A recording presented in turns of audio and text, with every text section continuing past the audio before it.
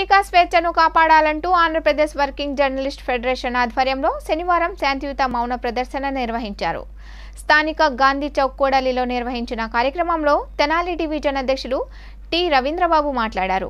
కొన్ని కేసులకు సంబంధించిన కాపీలను పత్రికల్లో ప్రచురించవద్దని ఎలక్ట్రానిక్ మీడియాలో ప్రసారం చేయకూడదని హైకోర్టు ధర్మాసనం ఇచ్చిన ఆదేశాలను పునః పరిశీలించాలన్నారు. కార్యదర్శి కనపర్తి తాత్కర్ మాట్లాడుతూ హైకోర్టు ఇచ్చిన తీర్పు పత్రికా హక్కులను కాలరాస్తుందని అన్నారు. ప్రజాస్వామ్య వ్యవస్థలో మీడియాకు ప్రత్యేక స్థానం ఉందన్నారు. ఈ కార్యక్రమంలో ఏపీ వర్కింగ్ జర్నలిస్ట్ ఫెడరేషన్ సభ్యులు Zaheer Shyamsagar D Nagaraju V Lakshman Venkataramaiah Mekala Subbarao Gummadi Prakashrao P Punnaiah Samshivarao Ravikumar print and electronic media మిత్రులు పాల్గొన్నారు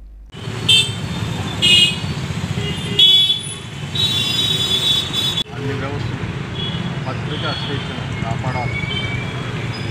నియంత్రించడం అనేది ప్రజాస్వామ్య దేశంలో మంచిదిగా భావించట్లేదు. ఇటీవల హైకోర్టు ఇచ్చిన తీర్పును పునఃసమీక్షించి వల్ల పత్రికా స్వేచ్ఛను పత్రికా హక్కులను కాపాడవలసిందిగా విజ్ఞప్తి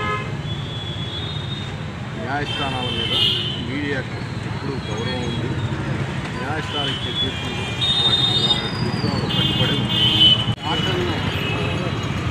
హైకోర్టు వారు ఇస్తున్నారు. అయితే నేటి పరిస్థితులు నేటి పరిస్థితుల్లో ఈ ఏసీ ఈ కేసులు అనేది అమరావతికి సంబంధించి సెన్సేషన్.